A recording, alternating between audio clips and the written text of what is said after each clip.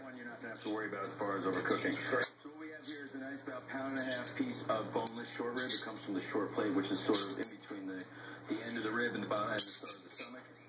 And you clean that off. Like, if you've taken the fat off, or does it come like that? Um, no, this should come like this. Any butcher or uh, you know uh, reputable uh, wholesaler will have this uh, cleaned up for you. Okay. So we're gonna liberally season this all sides, heavy, heavy, heavy salt and pepper because it is gonna cook for so long and in a, in a uh, uh, wet environment, so we don't have to worry about it uh, being overly salty or Right.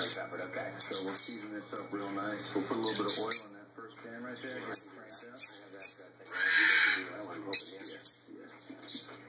So once we've got this good and seasoned up, we got our pan nice and hot. Turn this all the way up. So, so you want it to, uh, necessarily start to smoke. Okay. And then because, like I said, we are cooking this for so long, we're going to get a really good sear on all uh, four sides of that uh, short rib. Once we get a